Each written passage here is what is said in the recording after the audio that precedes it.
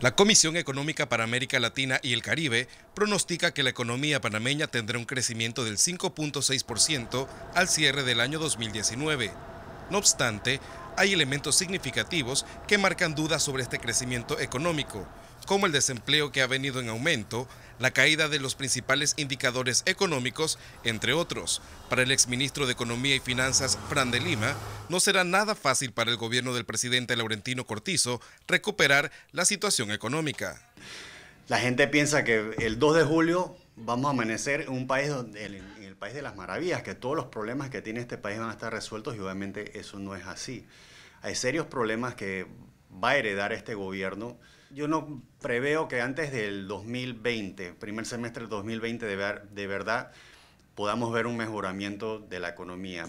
Sabemos que el nuevo gobierno va a tener que operar estos últimos seis meses con el presupuesto que dejó el gobierno saliente y también ya sabemos que las recaudaciones están un 25% por debajo de lo presupuestado, que genera una presión enorme fiscal a las posibilidades de, de nuevos proyectos que puede generar la nueva administración. En varias ocasiones, Cortizo ha propuesto el pago a proveedores como uno de los mecanismos más efectivos a corto plazo para reactivar la economía en los primeros meses de su gobierno.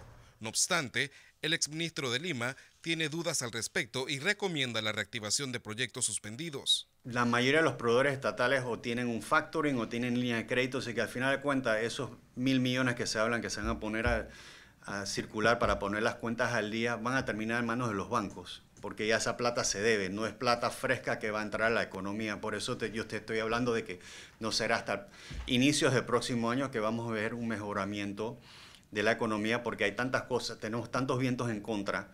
Y este tema de, sí, es importante ponernos al día, pero esa plata se debe y hay cualquier cantidad de, de cuentas por pagar también en las instituciones del gobierno que no tienen ni partida presupuestaria que le tocará también entonces al nuevo gobierno ver de dónde saca la plata para pagarle a esos proveedores. El gobierno del presidente Juan Carlos Varela dejará varias responsabilidades fiscales al presidente electo Cortizo. La situación es crítica según las fuentes consultadas y recomiendan al nuevo gobierno que llame a diferentes representantes del sector público y privado para que aporten soluciones efectivas. Con cámara de Luis Tapia, Einar Valdés López, Next Noticias.